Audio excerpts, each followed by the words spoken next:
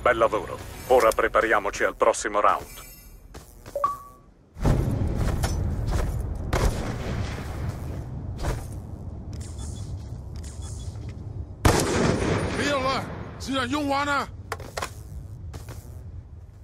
Cerca e distruggi.